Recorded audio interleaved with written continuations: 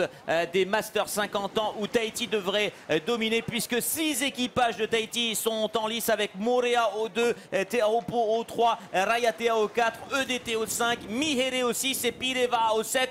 Euh, un équipage calédonien et un équipage néo-zélandais au 1 et au 8 vont tenter de défaire la suprématie de Tahiti dans cette finale, André.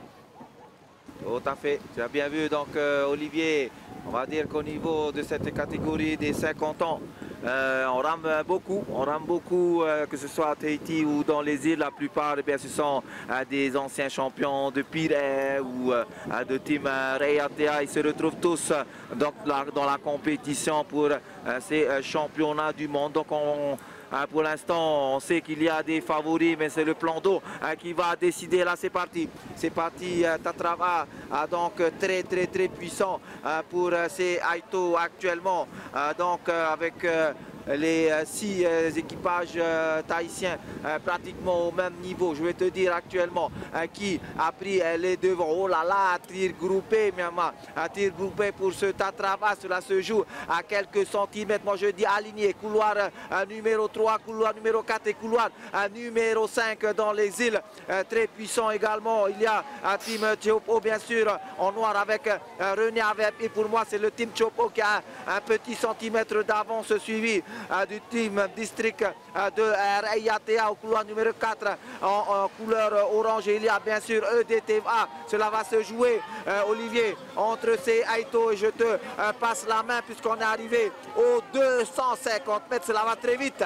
Oh là là, 250 mètres euh, et rien n'est fait puisque Teopo a un petit centimètre d'avance sur l'équipe de Rayatea. EDT est dans la course. Mihere également. Le district de Morea euh, n'a pas dit son dernier mot. On a également Pide qui sera au couloir numéro 7. Oh là là, quel tir groupé. Rien n'est fait pour la chasse aux médailles et surtout pour le titre de champion du monde. Même si Teopo à 150 mètres de l'arrivée a peut-être un petit mètre d'avance. Mais les équipages vont accélérer. Ça va se jouer entre, entre Teopo, entre Rayatea, entre EDT VAA. Oh, que ça va être dur dans les bras les derniers coups de rame. On voit l'équipage de Teopo qui est à l'image, qui pousse, qui pousse au couloir numéro 4, qui tient le lead face au couloir numéro 6 avec Mihere. Attention, avec le couloir numéro 4, toujours de Rayatea qui reprend les devants. Attention, c'est Rayatea au 4 qui va s'imposer. Oh là là, Rayatea qui l'emporte devant le team Chopo au couloir numéro 2. J'ai pas vu qu'il était troisième, mais que ça a été vite. Ce qui est sûr, c'est que Rayatea est champion du monde en Master 50 ans.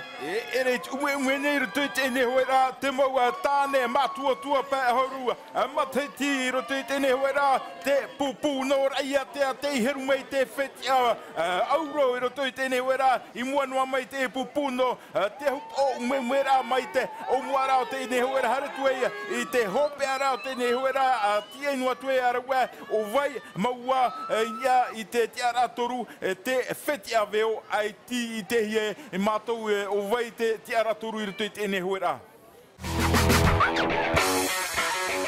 Thank you.